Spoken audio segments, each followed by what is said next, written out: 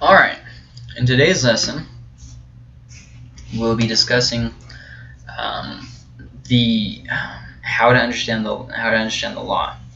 Um, I know I kind of skipped very rapidly through that, um, and a lot of this course is just to kind of explain simple things, give a survey of what's going on in the Old Testament, and uh, help you be able to, to really delve in there for your own study. This is not meant to be an answer all video series. This is meant to be this is meant to be a class that gets people who have no understanding of the Old Testament into um, into studying it more, get them into into seeing how it applies to them.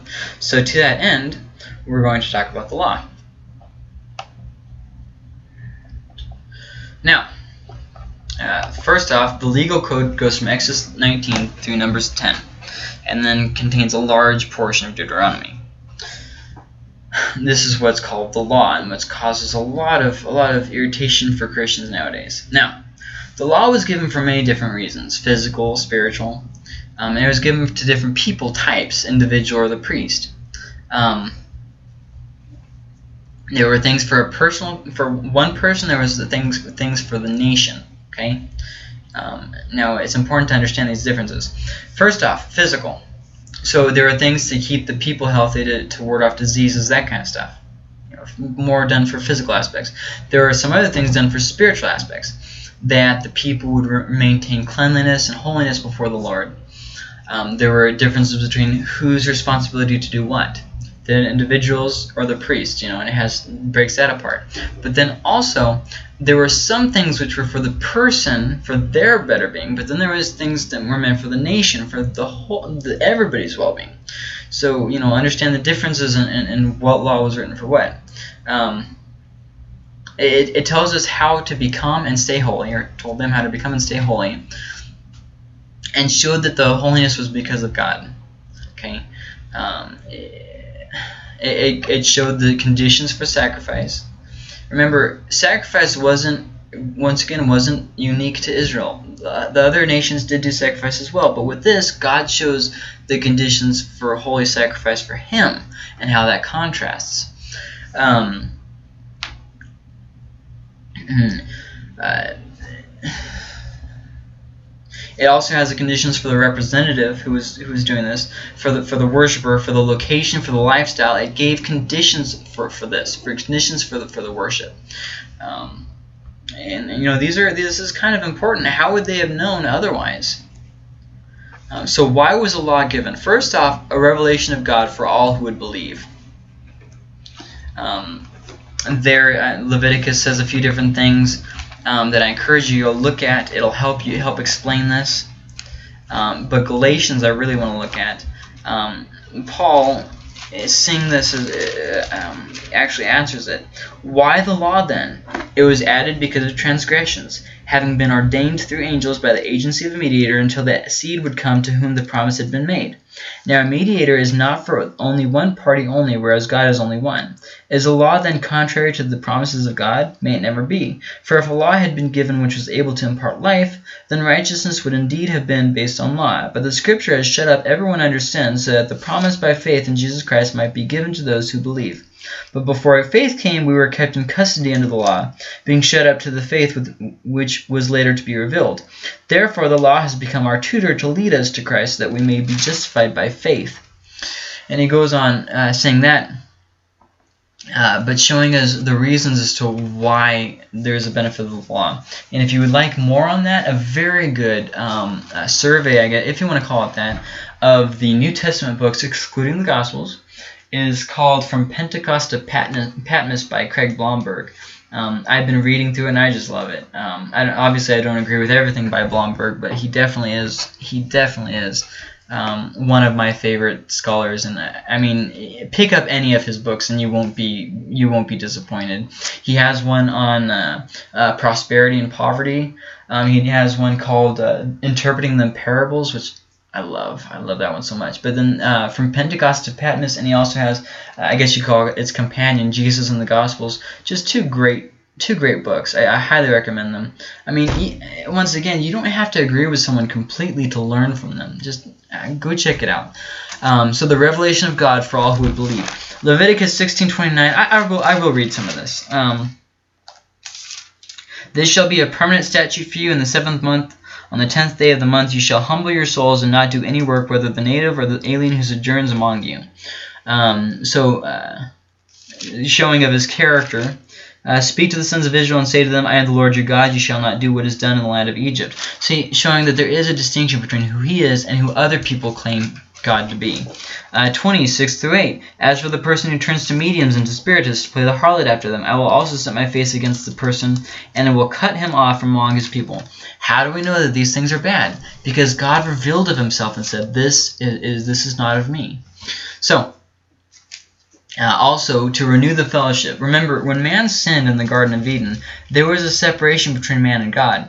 But in order to do that, God made a way. I mean, in order to fix that, God made a way.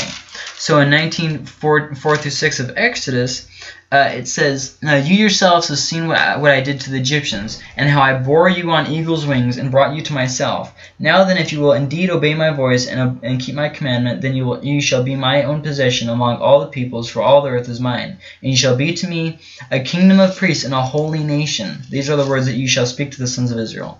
So God desired for them to have this, this relationship with himself. Um, it, it's only the it's only later that it was turned into this whole thing of legalism, and then once again, now even today, Christians are still trying to make people Jewish by um, by demanding that they follow the letter of the law rather than understanding, uh, rather than living by grace and following the the law of grace and love. Um, remember, they both came from the same person who never changes, and so what does that mean for us? So Leviticus 9, 6 to 7. Um, this is the thing which the Lord has commanded you to do, that the glory of the Lord may appear to you. Moses then said to Aaron, Come near to the altar and offer your sin offering and your burnt offering, uh, that you may take make atonement for yourself and for the people. Then make the offering for the people, that you may make atonement for them, just as the Lord has commanded. Um, so talking about how God wanted fellowship with them. And then in 1531, it talks about Thus you shall keep the sons of Israel separated from their uncleanness, so that they will not die in their uncleanness by their defiling my tabernacle that is among them. Um, see what I mean? Because God was with them, He wanted them to live differently because He cannot stand that that that um, that um, evil. He cannot stand to be in the same place as evil. So also to give knowledge of morals, uh, personal and national. Um, and also, by the way, not, apart from morals, to also give give what is what is clean and unclean. Uh, for instance, blood not being a good thing to eat. Um, Leviticus 19, uh, 9 through 12. Now when you reap the harvest of your land, you shall not reap the very corners of your field, nor shall you gather the gleanings of your harvest, nor shall you glean your vineyard, nor shall you gather the fallen fruit of your vineyard. You shall leave them for the needy and for the stranger. I am the Lord your God. So he said there, leave it for, for others. We're not talking about about bad things. We're talking about you know these are good things. Um, so knowledge of, uh, and once again, people would say, well, what about where, where God said to, you know, to kill those among you like the spiritists and all these different things? Christians are called to do the exact same thing today. We're not when there's someone in our congregation who claims to be of the body, okay, claiming to be of the body, and they uh, they they don't obey they don't uh, they don't live God's way. We're supposed to you know um, talks about Paul talks about this. There's that dis that discipline that comes, um, which is a little bit of a discussion for another day. Uh, but then also it was to give object lessons. In Leviticus five six. Um, he shall also bring his guilt offering to the Lord for his sin which he has committed, a female from the flock, a lamb or goat, as a sin offering. So the priest shall make atonement on his behalf for his sin. Now we know that Jesus is our high priest, but he's also the sacrifice. So that makes him means that he's always standing as a mediator before us, and his sacrifice was en enough once for all, for all people and for all time. Um, for those of, for those who would who would, who would accept. Uh, 1 Corinthians 10, 1 through 12 says, Don't be like Israel who did this and this happened, who did this and this happened. And it goes through showing how and showing how it was object lessons for us. Um, 2 Timothy 3.16 says, All scripture is, and is inspired and profitable for teaching and for training up. Hebrews 5, um, 1 through 10 says, For every high priest taken from among men is appointed on behalf of men in things pertaining to God, in order to offer um, offer things, um, offer both gifts and sacrifices for sins. So he's talking about the way that Jesus is the high priest. Um, and really, Hebrews talks again and again about the superiority of Christ. Um, so the New Testament assumes knowledge of the Old Testament, and it builds on that. And so to say that we don't need the Old Testament is just honestly a little bit naive because the New Testament assumes that you know the Old Testament. That makes sense? So, um, so then the ten principles of life, um, often called the, the, the Ten Commandments. Um, first off, these were things that would have would have given a good society and would have had them on good terms with the Lord. Um, the first ones have to do with, with, with their relationship with God. The last ones, the last six, have to do with their relationship with people. Um, so once again, all of the law can be summed up in love the Lord your God and love your neighbor as yourself. First off, no other gods. Um, second off, um, no idols. Um, and third off, God's name in vain. Now, remember, God's name in vain isn't necessarily saying God, you know, um, although that's you know would be bad too. God's name in vain is also um, taking his taking um, taking a taking it in vain. You know, like for instance, you could say that, that, that someone who committed to Christ and then left would be taking his name in vain in a way. Um, it, also, uh, if you if you if you swear by his name, that would be taking his name in vain. Um, you know, it's a lot broader than, than, than, that. Actually, think about that, taking God's name in vain, and, and see how it. I'm sure if you react with it a little bit, you'll you'll kind of um, come to a more full understanding of it. But it is definitely not just simply saying, you know, what we've made it in, in pop culture today. Um, you know, as the Lord lives, I'll do this. Well, unless you die, unless this, unless that. You know what I mean? There's just so many ifs in that sentence. Um, and then and then um, following him with half a heart and that kind of stuff. You know, it's the idea of taking God's name in vain. Um, so okay, um, that takes us to the Sabbath. That they're supposed to that they're supposed to have have a Sabbath. Um, you know, religion really does give a society um, morals. I mean, regardless of your opinion of religion, it, apart from apart from from a claim of divinity why should we why should we why why should I live according to what you say is right? See what I mean? But with the Old Testament we see okay and it's not about what I think is right it's what God thinks is right um, and and so and, and not that but the thing with the Old Testament uh, is the laws are God gives some principles but he gives a lot of application so don't do this this and this well why because when you do that you're worshiping another God don't do this, this, and this. Well, well, why? Because when you do that, um, you are you are in essence taking my name in vain. You know, and, and so that he goes through these different things, and, and he gives us he gives us principles. You know, um, this is how to live holy, but then a lot of it is application. And so what we try to do is we try to take the application of God's principles and say this is a timeless principle, and it applies to all generations. It even applies to Christians. And what we are actually doing is we're make, we're overburdening somebody and making them trying to make them Jewish. And I mean this is not a good thing. Um, so the next one, honor parents. Honor means to think highly of. Um, no don't don't murder don't commit adultery don't steal don't covet.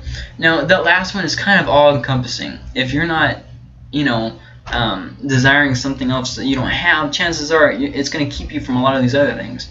So um, love your neighbor. Um, so the different kinds of, of, of offerings there's the burnt cereal peace sin and guilt. Now these historically have been a little bit hard, so I'm going to kind of re um, retranslate them here. Burnt is, is an is an entreat uh, is to entreat a response or to purify the altar. Okay, so um, if you're seeking after the Lord, you give him a burnt offering. For instance, um, if you if you give an if if you're you're when getting ready to offer other sacrifices, you do a burnt offering um, to purify the altar. Um, then there's what's called the cereal, um, and this is basically the burn the version of a burnt offering for the poor. Okay. Um, then there's there's what's called the peace of the fellowship uh, uh, offering. This was an occasion for unity. Let's say um, that it was a day of festivals or whatever. You would give a peace offering, and you would give a burn. You would give a burnt offering, then you would give a peace offering. Um, then there's the um, the sin or the purification offering. It, traditionally, it's been called the sin offering, but this isn't very accurate because it it's more of to purify the sanctuary. The, the sin offering is given to purify the sanctuary. For instance, after a woman has had a, has had a baby, according to the law of Leviticus 12, um, she has to give a sin offering. So, is it sinful to have a baby? No, not at all. It's talking about purification. In, in fact, I think purification is a, is a, way better substitute for that word. Uh, purification offering. Um, if you go back to the word, it's pretty kind of explains itself. Um, but then there's a guilt offering, which addresses a breach of faith or sacrilege. Okay, so um, when the when the holy is used for the profane. And so uh, the question to ask yourself throughout these is, is whose perspective is being shown in this section, God or man? And as you read, just ask yourself that. Is this from God's perspective or is this from man's perspective? And if you're unsure, the New Testament will oftentimes clarify, um, clarify that for you. So, the laying on of hands was a symbol that the animal was dying in place of your deserved sin, not that the animal was taking away your sin and that's why it could never it could never be enough. Um, because somebody deserved to die and so they killed the animal instead of you. Um, so um, some differences in the sacrifices. Um, Israel used burning sacrifice by fire which isn't that big of a deal. Uh, pagans read the animals. Like they take their, their, their intestines and different things like that and they they prophesy according to that. Um, they take it as different signs and that kind of stuff um, Israel's sacrifices were because of the covenant. See, because God was in covenant with Israel, they offered sacrifices. They didn't offer sacrifices to get the God's favor, to this or that. Although that is true, um, they uh, the, the, the sacrifices were because were a direct result of the covenant. Um, Israel had idea of holiness. This was this was definitely not so much the factor um, with the with the other pagan um, pagan belief systems. In the laws of Dadusha Vishnuna, it says, If a man brings the bride wealth for the daughter of a man, but another, without the consent of her father and mother, abducts her and then de deflowers her, it is indeed a capital offense. He shall die.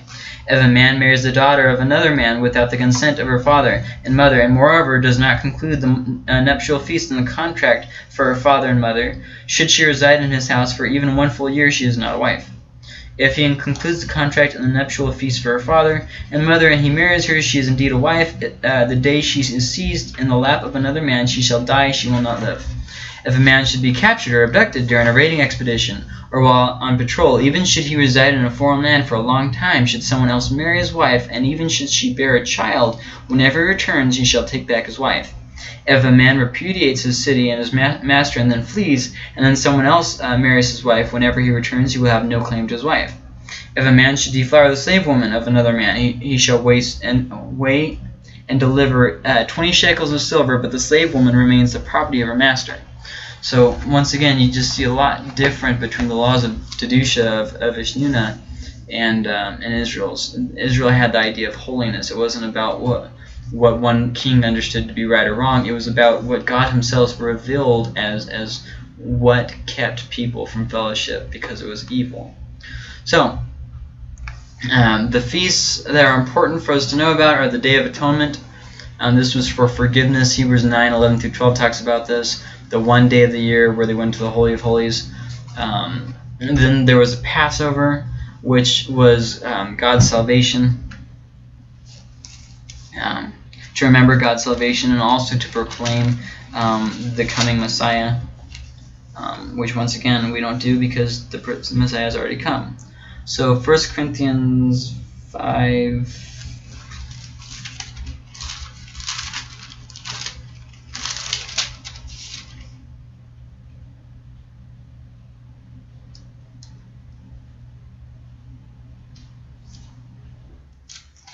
Um,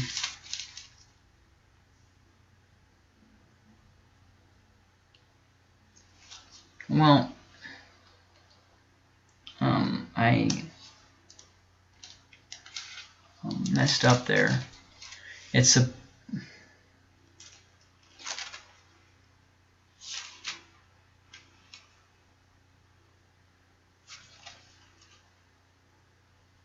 Okay, um, it's not 517, it's 57.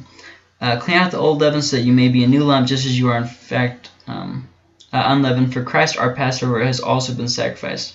Therefore, let us celebrate the feast not with old leaven, nor with the leaven of malice and wickedness, but with the unleavened bread of sincerity and truth. so, um, other feasts, uh, days of worship, kind of self-explanatory there, and they kind of always say, you know, what, what their what their purposes and how they are to be done. So you can kind of read through Leviticus and whatnot for those ones. Um, then there's the Sabbath, which is the day of worship. Now remember, the Sabbath was not meant to be a day of doing nothing. The Sabbath was meant to be a day of worshiping the Lord. Uh, I know throughout history it's been made out where you can't do a single thing on, on the Sabbath, but that's just wrong. Uh, 14.5 through 6 says, um, one person regards one day above another, another regards every day alike. Each person must be fully convinced in his own mind. He who observes the day observes it for the Lord, and he who eats does so for the Lord, for he gives thanks to God. And he who eats, um, who eats not for the Lord, uh, he does not eat and gives uh, thanks to God. So once again, the Sabbath isn't. Once again, we're not. You, you don't.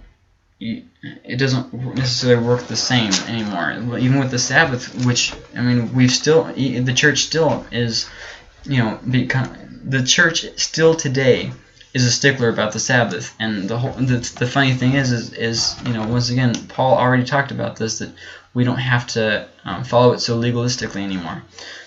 Um, so man and meat, I talked about this. Um, God gives uh, different qualifications for eating meat. First off, in Genesis 1, 29 through 30, he says not to eat meat.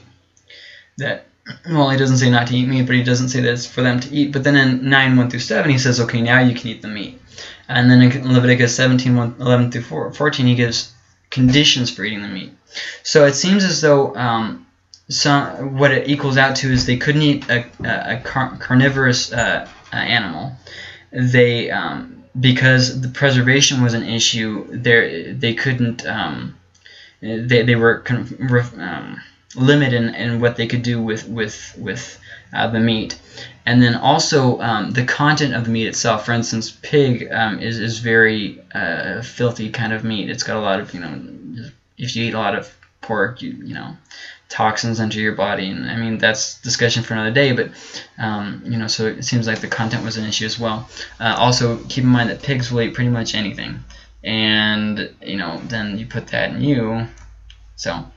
Um, the law was the law was given ahead of time for obedience, not for salvation. Um, Matthew five seventeen says that do not think that I came to abolish the law of the prophets. I did not come to abolish, but to fulfill. See, Jesus is the fulfillment um, of those things. He's the fulfillment of the law. Um, Deuteronomy 6, 4 through 9 uh, says, Hear, O Israel, the Lord is our God, the Lord is one. You shall love the Lord your God with all your heart, and with all your soul, and with all your might. These words which I am commanding you today shall be on your heart. You shall teach them diligently to your sons, and shall talk of them when you sit in your house, and when you walk by the way, and when you lie down, and when you rise up. Um, and so on and so forth. And then 7, 7 to 11. The Lord did not set his love on you, nor choose you because you were more in number than any of the peoples, for you were the fewest of all peoples, but because the Lord loved you and kept the oath which he swore to your fathers, uh, forefathers. The Lord brought you out by a mighty hand and redeemed you from the house of slavery, from the hand of Pharaoh, king of Egypt. Know therefore that the Lord your God, he is God, the faithful one, who keeps his covenant and his loving kindness to a thousandth generation with those who um, who love him and keep his commandments. But repays those who hate him to their faces. To destroy them he will not delay um, with him who hates him. He will repay him to his face. And uh, then 17, uh, 14 through 20.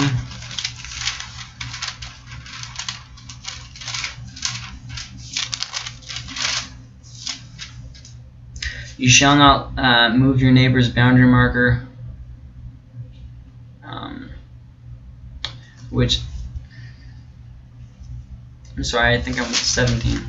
I mean, sorry, 19. I, I meant 17. 14 through 20.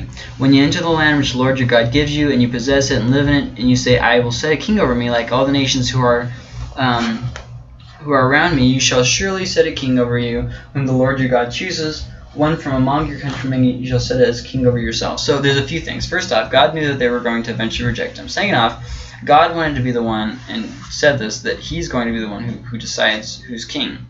Um, and then also, uh, a lot of the things mentioned here in the, in the passages are exactly what Solomon did. You, you weren't supposed to go and get your horses from Egypt. You weren't supposed to um, uh, accumulate many wives. You weren't supposed to um, make silver or gold too common. Uh, you go through there and you list of different things, and um, it's everything that Solomon did. So um, with these, when you're going through through through the uh, laws, how you understand them is you take discover the principle. What is the principle of, of what he's saying, and then make a new application. Leviticus 19:13, for instance.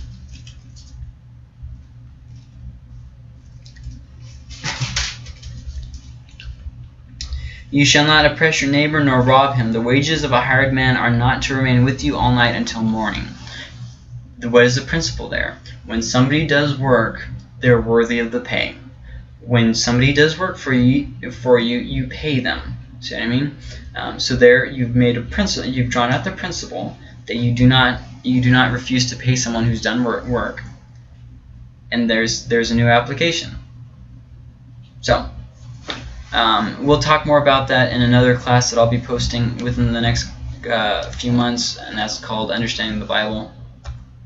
Um, I, I, just realized the other day that I've been posting stuff on the on my YouTube under the name Understanding the Old Testament, but it's called The Old Testament Made Easy.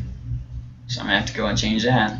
Um, some some themes of the law. First off, God is sovereign. God is the one in control of all this. Second off, history. You're seeing, you know, the law contrast with other laws. The law, con- the sacrifices contrast with other sacrifices, and what's going on historically um, at the at the time is, is you know um, hinted towards and and, and, and whatnot. Um, also, uh, the fallen condition of humanity. That this is something that that that God is a temporary solution for for people to be in right relationship with God. Um, salvation and deliverance are, are, are two main themes. Uh, the holiness and the law, that's a major theme. Uh, election, uh, that they didn't do anything uh, to pick it, to pick for God to pick them, but God still picked them. You know, um, but then also uh, the promise, um, the promise in the covenant. You know, it's interesting to note that that, that with Israel, God made God kind of elected them, like you know, picked them out and picked them up and said, "You follow me." Whereas with um, nowadays, it kind of works the exact opposite. Not to say that God doesn't elect. I'm not saying anything like that, but um, you know that pretty much the door is open for any who would believe. You know, God's made it so easy now. Um, in fact, He's made it easier and easier. This great chasm has almost no distance between it at all. None that one drop of blood can't resolve. Um, so then also some other themes are the promise and the covenant you know God's faithfulness to all these different things. Um, read through the read through the laws and, and, and try to try to see that they are still relevant. Um, if if maybe a different way, yes, but they are still relevant. So I hope you enjoyed this lesson. Um, next lesson will be about um, uh, talking about the kingdom of Israel, going from Saul to Hosea. Hosea. Hosea.